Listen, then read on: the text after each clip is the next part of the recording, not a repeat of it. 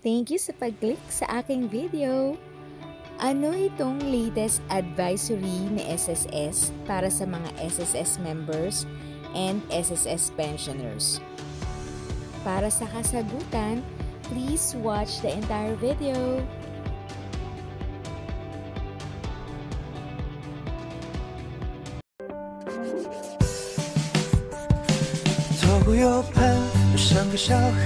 Hello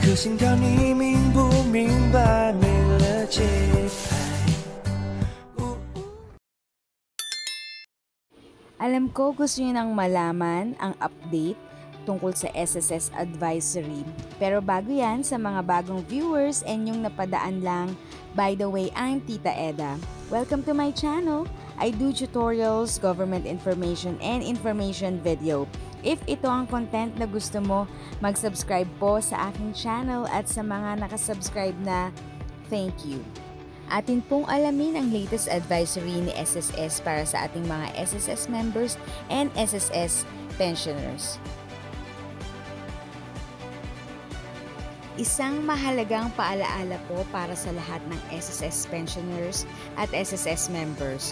So maging maingat po tayo ating mga lolo't lola at listo upang fixers ay masugpo. Yan po ang paalaala ni SSS po.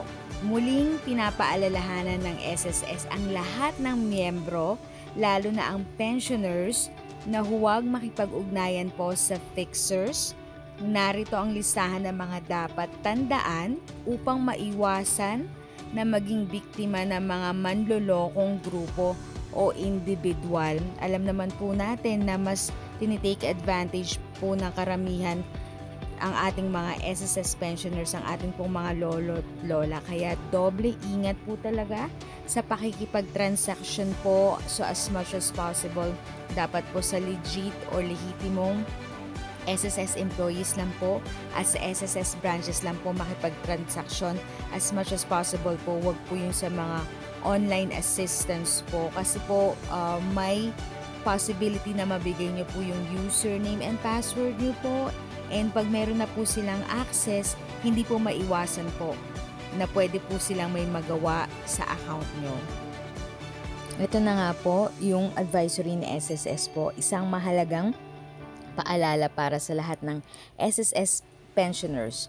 Maging maingat at listo upang fixers ay masugpo. So muling pinapaalala po talaga sa atin ni SSS sa lahat ng miyembro lalo na ang pensioners na huwag makipag-ugnayan po sa fixers. So ito po ang mga dapat tandaan. So iwasang makipag-ugnayan sa mga fixer at huwag maniwala agad na mapapabilis nila ang inyong transaksyon sa SSS. At pangalawa naman po, huwag ibigay o ipagkatiwala kanino man ang inyong personal na impormasyon, my.sss account o ang inyong ATM card or cash card at ang PIN nito.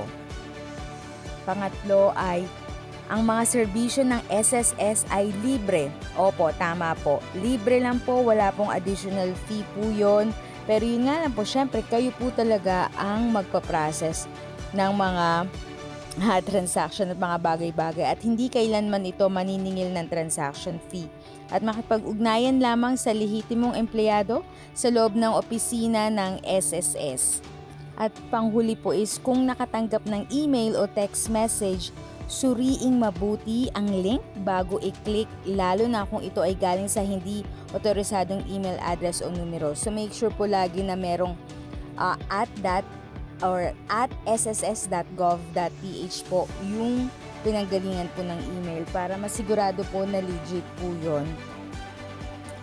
At yun na nga po, ang fixing at ang pakikipagsabuatan sa fixers ay paglabag sa RA 11199 o Social Security Act of 2018 at RA 11032 o Ease of Doing Business and Efficient Government Service Delivery Act of 2018 ang SSS ay walang pananagutan sa mga programa gaya ng pension loan program kapag napatunayan ang pensioner ay nakipag-ugnayan o nakipagsabuatan sa fixers. Ipagbigay alam agad sa pinakamalapit na opisina ng SSS o sa alinmang lehitimong SSS communication channels ang mga grupo o individual na pinaghihinila ang sangkot sa fixing o panluloko. Para sa mga katanungan at karagdagang impormasyon tungkol sa mga programa ng SSS, makipag-ugnayan lamang po sa aming hotline or sa kanilang hotline rather which is um, 81455 o kaya mag-email sa member underscore relations at sss.gov.ph o sa bdid at sss.gov.ph para sa mga concern tungkol sa pension loan program po. So ayan mga guys, if you find this video very helpful at nagustuhan mo itong video, please like, share, comment, and subscribe to my channel and click the notification bell para updated kayo sa lahat ng videos na aking i-upload. Thank you ulit sa pag-tune in nyo sa aking channel. Again, this is Tita Eda. If you have a questions and you want information, just visit Tita Eda's channel